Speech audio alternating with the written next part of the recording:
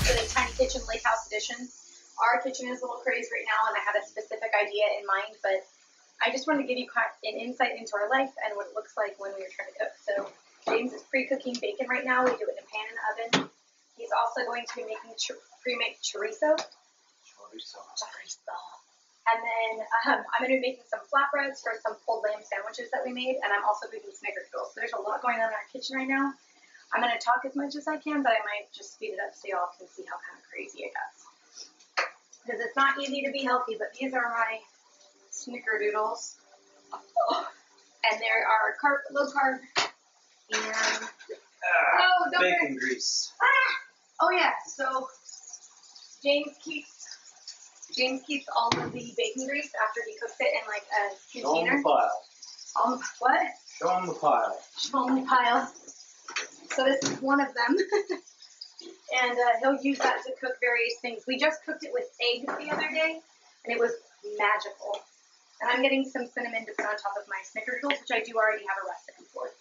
And I'm gonna cool these in the refrigerator first. I'll put a link below to my other video, the girl who um, inspired this from Pinterest. I'm trying to find space in my clo- in my closet, in my refrigerator. I had someone on one of my last videos like complain about how I talk too fast or like talk too much, and I was like, whatever. Like, You just gotta trust a rebel heart. Ride in the battle. if if, your, if my personality doesn't work for you, why do you gotta write me a comment? Just go someplace else. Just leave a nice dislike and fuck off. a dislike. Well, Or- I mean, that's what the button's there for, right? I, I just don't understand people needing to spread negativity for no reason. I, you know, if you have nothing, I mean, in kindergarten, right? If you have nothing nice to say, say nothing at all. It means they like Like, you. that means that, oh, oh gosh, let's not encourage that for small children and little girls.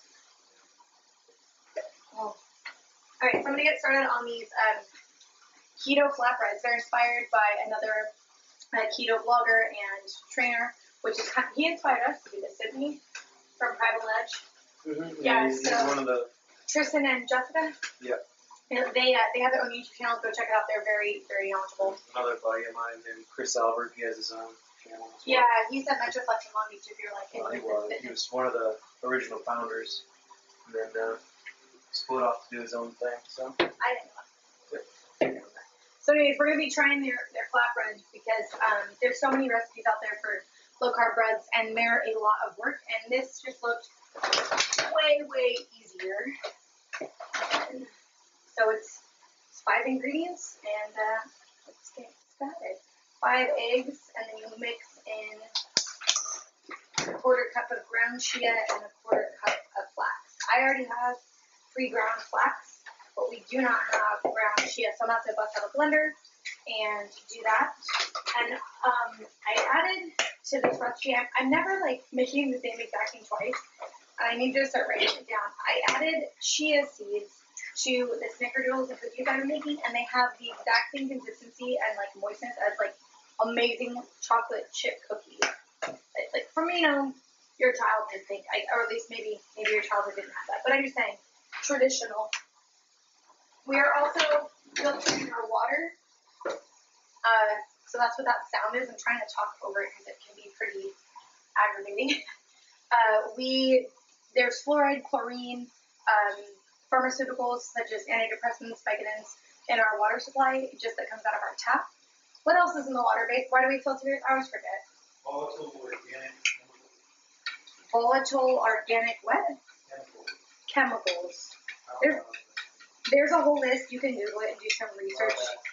And if you, once you start to filter your water, you'll be able to smell the chlorine or the bleach after you don't, like when you go to work or if you go to a restaurant and you decide to be healthy and you want to get tap water. Um, it's, it's, it's a huge, huge problem. And there are so many um, risky side effects to having things like fluoride in your water. And there are much better ways to clear the pathogens out of our public water supplies than to be using um, chlorine or which is essentially bleach. And if you've ever spent time in a pool, it smells like that. So it's kind of a thing. we get our chia from Costco, which is a huge supplier of organic produce, and it looks like this, Nutiva. It's amazing. It tastes really good. I've had other brands, but I don't know what they do, but theirs just tastes better. And then we don't. And then we have this, which is also organic. And this is also great. We really, really like it. Oops. And it makes great. I just gave myself like a paper cup. It's like a plastic cup. Yeah, I'm like, ow. super. Yeah, James almost like ripped off his toenail today too. No, I just kicked the shit out of a metal door frame. Yeah, so But I that. had it coming, so. Do we have a quarter cup anywhere? Mm, Is it like in a container somewhere? yeah, I think you left it in one of the. No, it's not in. Ah.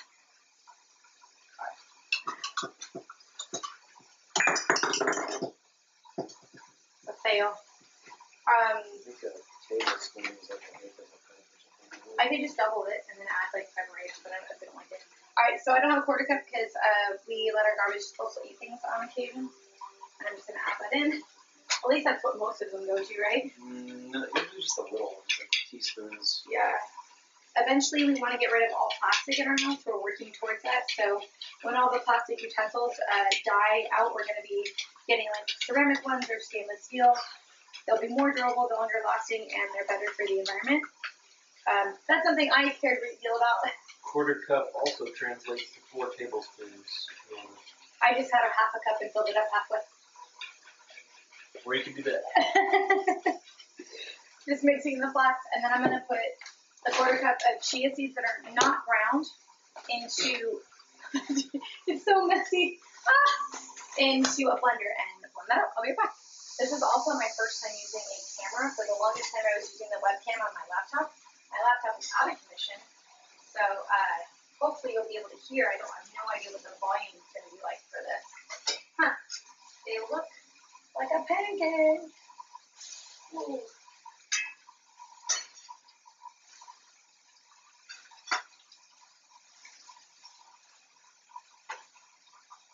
And today for our, I, I cooked a whole shoulder of lamb and then I made homemade barbecue sauce out of ketchup, um, mustard seeds and, and things like that. And if you wanted to see that, that's what this bread is being made for. It's for that particular sandwich if you want to know what the recipe is. These cook super fast. This is really convenient. And for someone who struggles like in just regular day-to-day multitasking, it can be very challenging to um, record a video while cooking and try not to burn your food. If someone has more respect for those act like they're actors, I guess, on Food Network. You know, those people who do this and make it seem like it's no big deal. I'm like, oh my gosh, this is so much harder than it looks. Struggling. You're just gonna grab that container of baking grease again. Here we go. Take a little bit out. Spin around. She did stress on their channel that you need to make sure it's, it's like hot before, otherwise the, they'll it'll stick. And uh, I'm like, oh no, let's not do that.